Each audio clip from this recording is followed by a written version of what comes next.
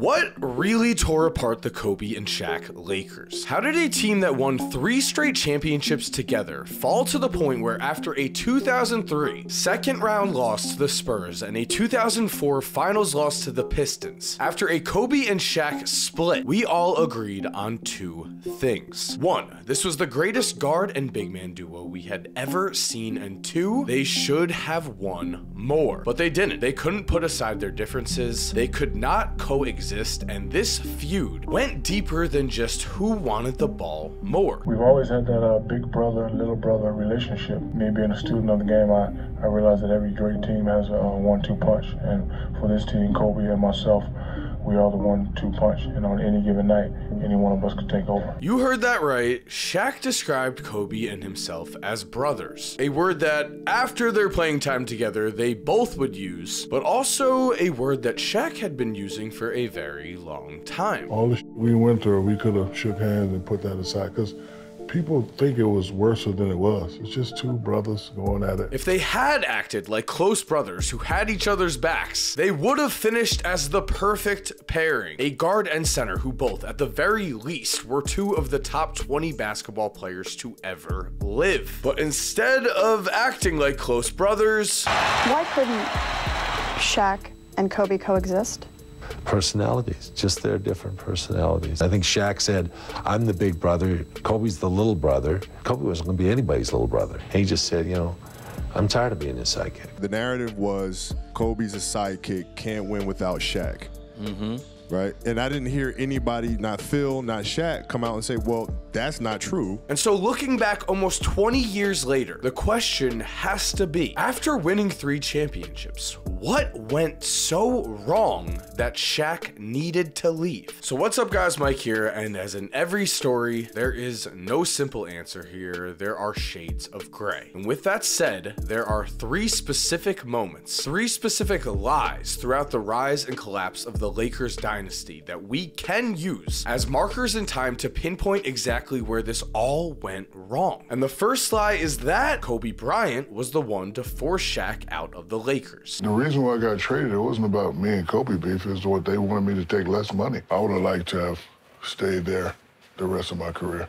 Imagine that. You will see this repeatedly. Both Kobe and Shaq were not the best towards each other throughout their time in LA. So much so that at times the personal attacks get confusing. It is important to note here that the reason behind the Lakers' fall was not just that Kobe wanted Shaq gone. That is a lie. Instead, as we just heard, the Lakers chose to ruin their own chance to continue their dynasty by refusing to pay Shaq. But before we continue, guys, I am very excited to thank Factor for sponsoring today's video because if you did not know, Factor makes meeting your nutritional goals easier than ever by delivering fresh, never frozen, dietitian approved meals right to your doorstep. With Factor, you're able to skip the stress of meal prepping over the holidays, as you're able to choose from over 35 plus weekly flavor packed, fresh, never frozen meals that support a healthy lifestyle. They also meet your meal preference and are delivered right to your door and ready to eat in two minutes. Now, personally, my favorite are the protein plus meals. If you need an extra boost, they have 30 grams of protein or more per serving.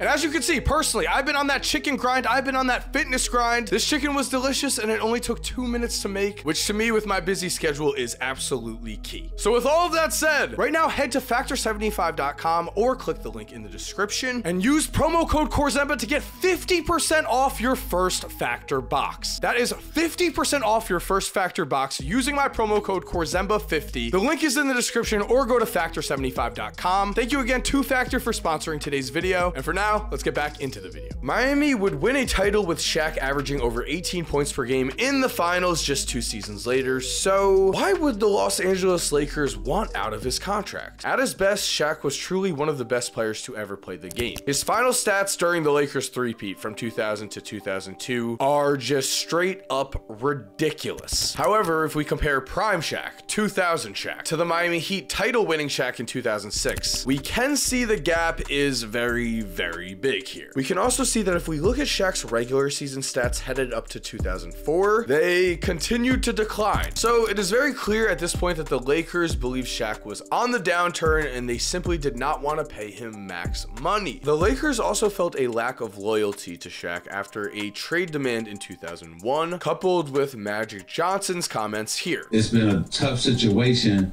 but I think the writing was on the wall back last summer. This is just didn't happen.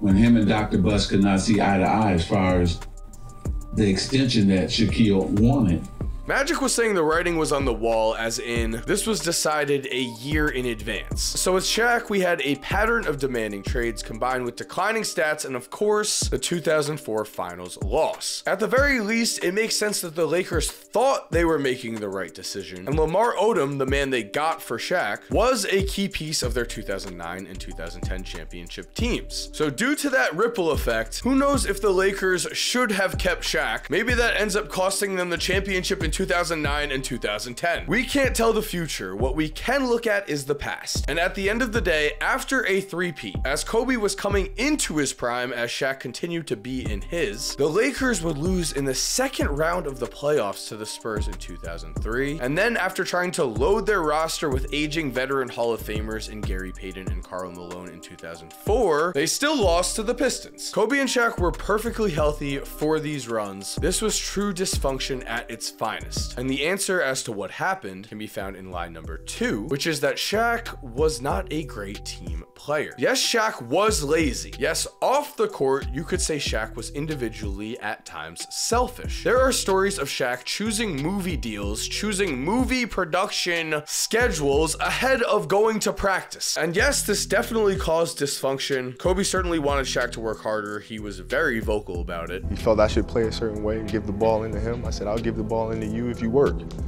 You don't work, you don't get the ball. However, out of the two of them, I will say on his side, Kobe Bryant was comparing himself more to a young Michael Jordan, while Shaq, despite the movie deals, made it clear that on the court at least, he wanted to be a part of a team. When I was uh, looking for cities to, to, to come to, I saw that they played good together. I saw that the guys got along together, and I saw that they were a great team. And I just wanted to be part of a team because I know in basketball you can't do it by yourself, no matter how great you are no matter how great you think you are. They say actions speak louder than words, and I will say Shaq went to the Miami Heat and in 2006 took a second seat to Dwyane Wade, a player who was younger than Kobe, and Shaq was completely fine with it. Off to South Beach, what's that experience like with a young D Wade? So when I got to D Wade, I was like, I know you heard all the stories.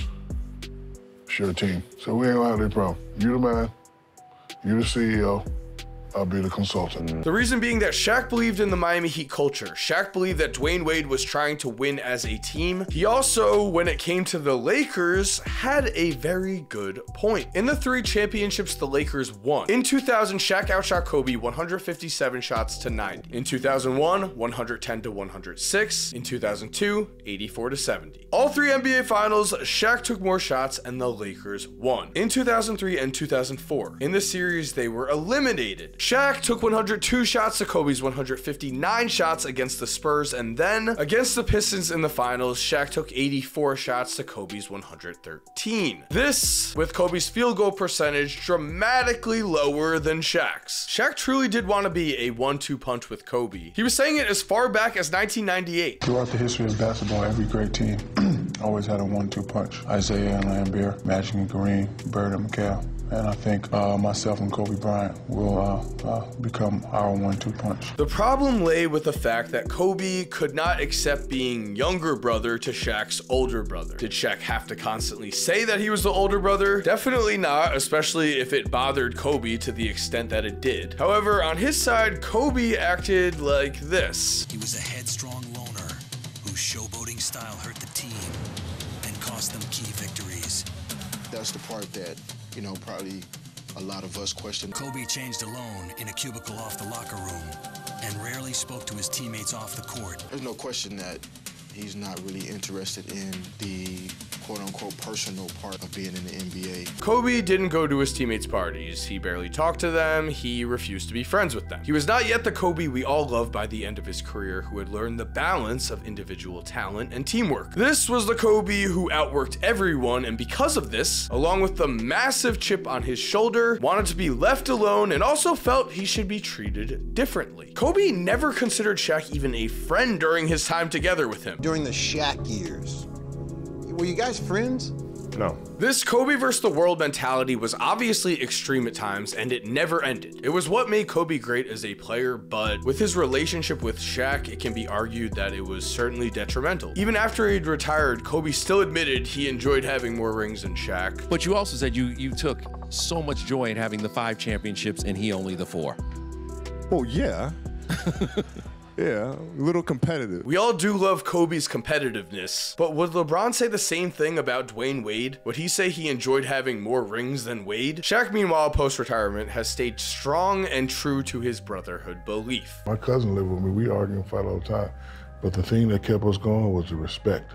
When I get double teamed, you know I'm looking for him. When he get double teamed by the rim, he looking for me. After my first championship, when I go like this, it's a million motherfuckers in the arena. Who jumps in my arms first? Say what you want about Shaq, the media lied about it. They pulled the classic, we're only going to focus on the negative. They never focused on the fact that at the end of the day, prime Shaquille O'Neal was not only unstoppable, but he was a winner. However, Shaq also did do things like slap Kobe in the face in 1999, as well as openly call him out as being selfish in team meetings behind doors. Really, at the end of the day, with both Shaq and Kobe, you just had two different mindsets on what it took to win. Kobe thought you needed to work as hard as possible and would not accept anything other than that. Shaq certainly did not feel that way, and they both could have left it at that, but for whatever reason, this difference of mindset caused them all the problems in the world. It is something like this that explains why Kobe and Shaq eventually split apart. However, we still do not have a great reason as to why in 2004, Kobe was on the brink of leaving the Lakers as well. We were looking for homes. We were actually looking for homes in Chicago, researching schools, um, places to live. So that was true. You were gonna go to the Bulls. Yeah. As again, this story goes deeper and deeper, and the final lie that broke apart the Kobe and Shaq Lakers was not told by anyone even involved in the NBA. It was told by police officer Doug Winters during Kobe Bryant's infamous court case that took place during the 2004 season. As during the investigation into the case, Detective Doug Winters lied to Kobe Bryant or deceived him in order to get him to keep talking. And what Kobe said would cause Shaq to physically attempt to fight him. I'm taking you into that police investigation room right now, and Detective Winters and Loya are interviewing Kobe for 75 minutes, and they tell him that the tape recorder is now off. Up until this point, the two have obviously been very nice. They've been doing things such as offering to help him with his crutches. After 75 minutes, Winters turns off the tape recorder, telling Kobe the interview is now over. Kobe takes this to mean that he is now off the record, which is not the case, which meant Kobe felt comfortable sharing and Doug Winters felt comfortable exposing after clear what some might call trickery. Quote bryant made a comment to us about what another teammate does in situations like these. Bryant stated that he should have done what Shaq does. Bryant stated that Shaq would pay his women not to say anything. He stated Shaq has paid up to a million dollars already for situations like this. He stated he bryant treats a woman with respect. Therefore they shouldn't say anything. This statement made waves with both the media and the Lakers as a team. Shaq was a married man who has since expressed deep apologies for his own actions. But with these words, Kobe had broken the code. You do not speak about your teammates in that way. On his end, Kobe felt the police lied to him. On Shaq's end, he felt Kobe was snitching on him to the police. Following the statement, there were rumors or reports that Shaq tried to fight, or we'll just say assault because he would have taken down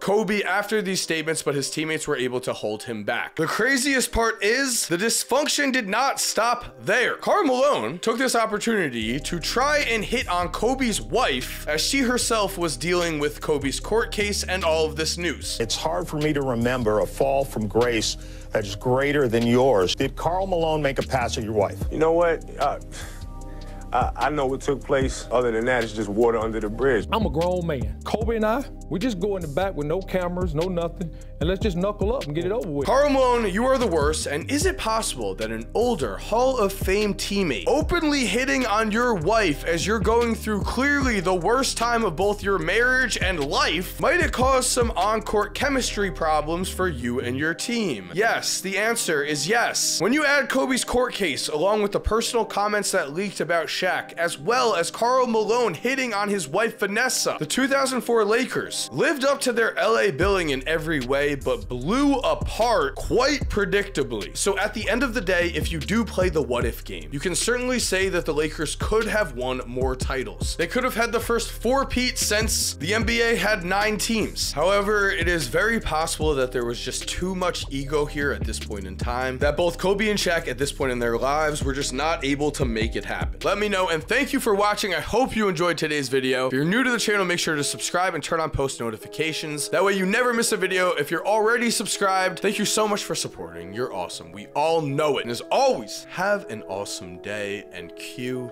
that music. If you're still here while the music is cued, here are two videos I think you are definitely going to enjoy. I mean, personally, I think the one on the left might be more your style, but the one on the right looks pretty awesome too. Click one, let me know what you think. And again, have an awesome day.